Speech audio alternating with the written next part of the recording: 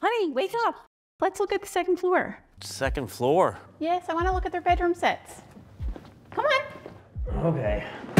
I could use another nap.